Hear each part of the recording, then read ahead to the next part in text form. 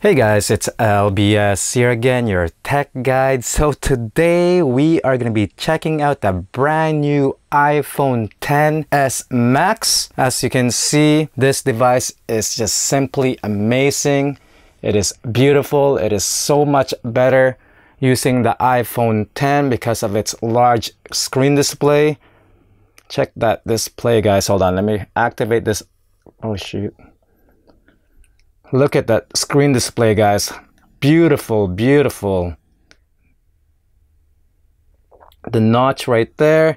For some reason, using this bigger device, I don't really notice the notch that much when I was using, compared to using the iPhone 10.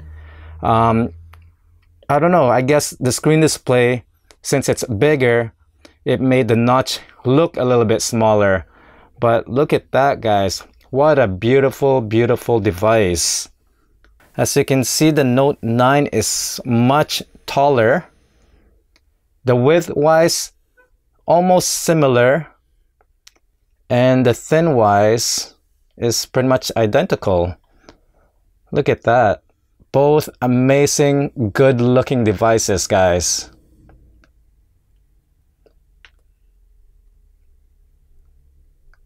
Wow. Weight-wise, they are somewhat similar. Let's check out the weight scale while we're at it. Okay, let's check out the Note 9. 202 grams. And the iPhone XS Max, 208 grams. So not much of a different, guys. Okay, so the purpose of this video is we're gonna see if the iPhone XS Max can actually work with the DJI Osmo Mobile 2. So let's put my tripod leg here and we'll try to set this up and see if it will work or not or if the device itself is too heavy for the gimbal. Okay, let's put that on like that and we'll mount it like this. Okay, let's just move it up a bit and voila. So let me just balance it a little bit and hold on, let me adjust my camera here so you guys could see everything. So let's balance it. So we've got plenty more weight here. So maybe if we do have a case on the device, it will still balance.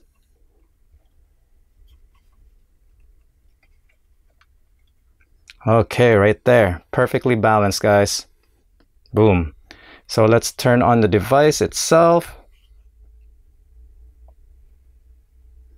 And power on the gimbal. and boom works like magic guys. Okay so let me just flip this and open up the DJI Go app. Okay.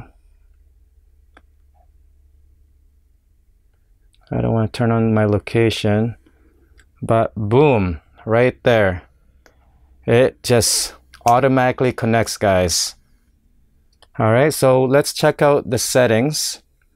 If we can get the 4K 60 frame per second, we can only shoot the maximum is 4K 30 frame per second. That is the back camera. The camera itself can shoot in 4K 60 frame, 60 frame per second. And for the front facing camera, 1080 50, uh, 30 frame per second. So that's your typical setup for the front facing camera.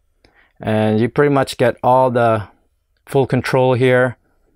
So if you got your um, tracking act active tracking you could track and so forth. Okay let me just fix that up again get a proper as you can see we got the active tracking working all right so now let's go out to the field, test this out. We're gonna be shooting in um, 4K 30 frame per second on the gimbal's camera app first. And then from there, we're gonna use the dedicated iPhone 10's camera app and try to shoot in 4K 60 frame per second. And also, I think I'm gonna probably do a handheld as well.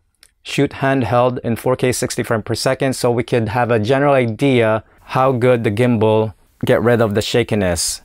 So let's go right now and check it out. I am using the phone with my bare hand holding this device and um, I'm trying to be very careful with this because I don't have any case right now. So if I drop this oh boy boy there goes my $1700 down the toilet. Oops. Okay open my garage here guys. So also during the test listen to the audio guys and see how how the audio is like. And uh, let me just put my gimbal here inside the trunk first before I do some more movement and action so that we could really see how good this brand new iPhone XS Max really is. So let's walk a little bit further down here and see how steady the camera is okay. So I'm just holding it at the edge of the phone. Let me just center myself here guys. Okay right there. So I'm just walking around as steady as I can or as normal as I can. So just look at this shakiness and I'm gonna try to run and see how the stabilization is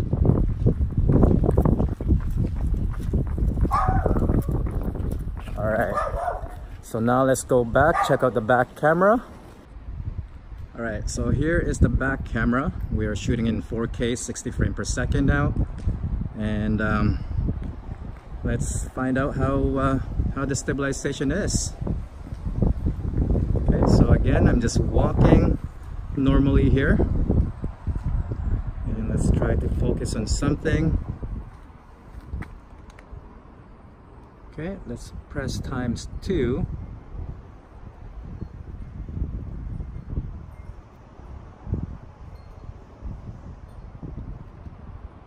And let's move out. Okay, that's times three. Oops. Hold on, guys. Okay, that's times three. And back. All right, so let's walk again with times. Let's change the focus. Okay, so we are completely zoomed in. And of course, I don't think this the stabilization on this setting will be great. So let's go back to the regular viewing angle. Okay, so now I'm gonna run.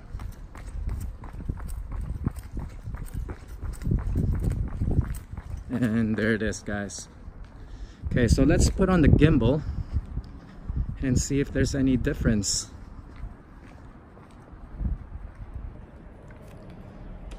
Okay so I'm using the gimbal now guys.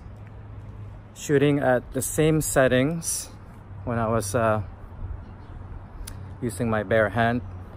And um, look at the footage guys. I'm just like looking at it on the screen display it looks very very smooth. One other thing that I noticed with the old iPhone 10 was the audio. I think it was during front facing recording the audio seemed to be muffled. So I don't know with the new one with this the Max I hope I don't know if the audio has been uh, fixed or not but anyway, let's continue doing our tests here. I'm gonna pick up the pace a little bit. And then I'm gonna run.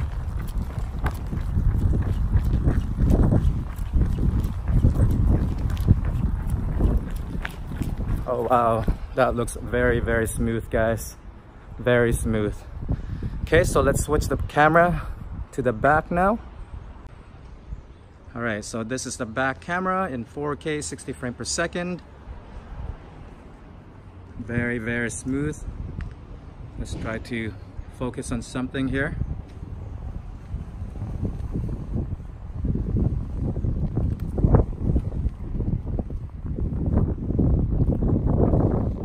Okay, and let's press the zoom times zoom here and see how steady the footage is.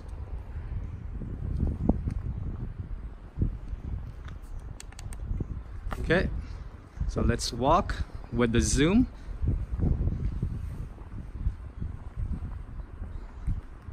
And now let's go back to the normal viewing angle.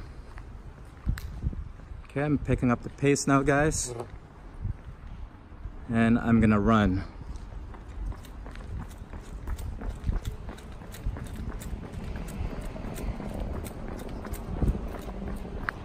Okay, I'm gonna run on the zooming viewing angle as well and see how that goes.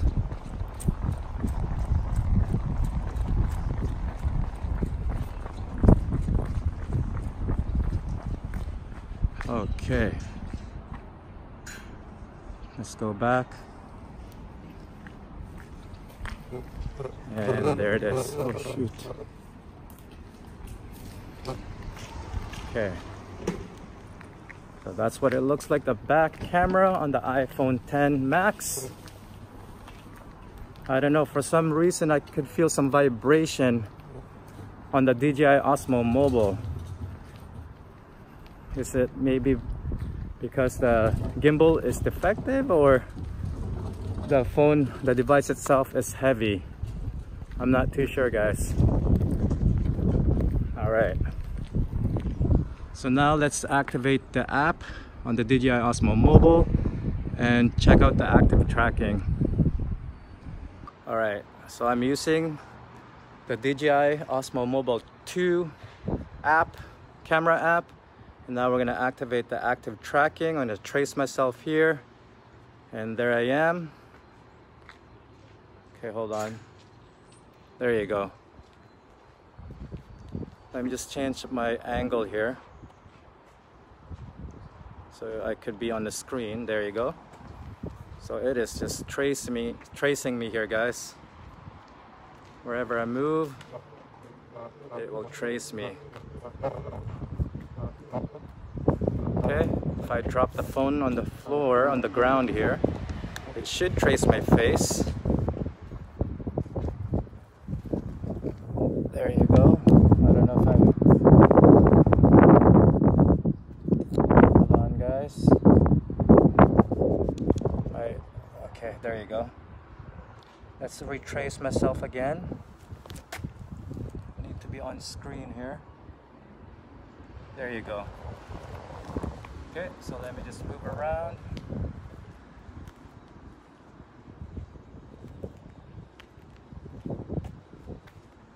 Okay.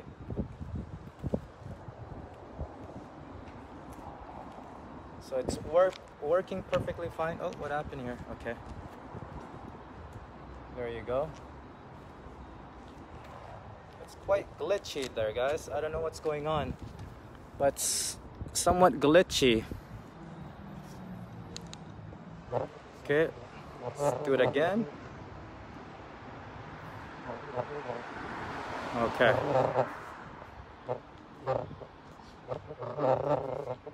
Alright, for some reason I'm feeling vibration on my gimbal here.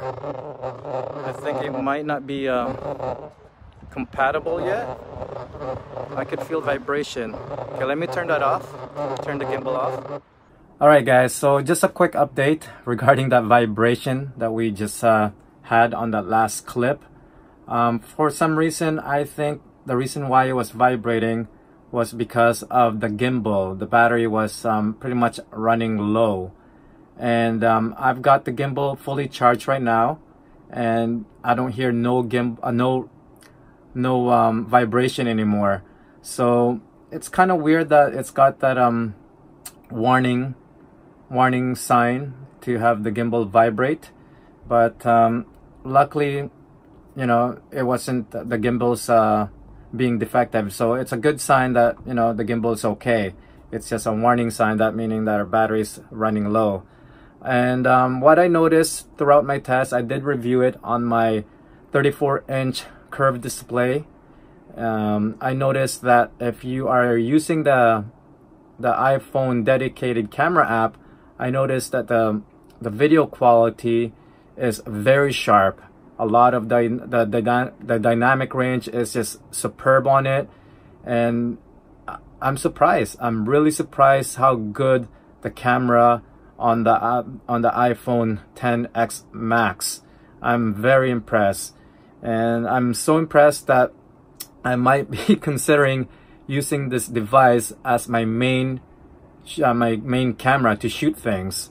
I was just blown away. I, I didn't expect that um, when I when I used to own the iPhone 10 the old one I wasn't really blown away by the camera quality the footage but this one I am very impre uh, impressed. Uh, looking at on the widescreen monitor you could really see the detail. And and the footage right now which you are seeing that what you saw it's cropped because I'm um, using it on wide angle so you'll notice it's a little bit cropped but if it's not cropped holy smoke guys. The the footage is just crystal clear and crisp. Amazing. And using the gimbal with the DJI Osmo uh, Mobile with it perfect perfect combo guys. Perfect combo. I'm like I'm speechless. I don't know. I don't know what to say guys. I'm very speechless. So definitely I need to check out the Note 9 with the gimbal just to see what uh, it's got to offer. Because uh, as of right now the iPhone 10 S Max is my go-to camera when it comes to taking video. And um, if you are using the DJI Osmo app for the camera um, the quality is not that great guys. For some reason the color uh, it's just it's diff it's off I, I shot all my footage in auto mode and uh, the sharpness is just not there. So the best way to do it is just use your um, iPhone dedicated camera app and just uh, hook it up with the DJI Osmo Mobile 2 and you're gonna get a fantastic amazing footage. Um, so that's pretty much it guys. I know it's quite long but if you really wanna think about it of purchasing the the DJI Osmo Mobile along with your brand new iPhone go for it guys. Go for it. So that's pretty much it. If you guys have any other questions just leave me a comment down below. And once again guys thank you for watching. Until then I'll see you guys on the next one. Peace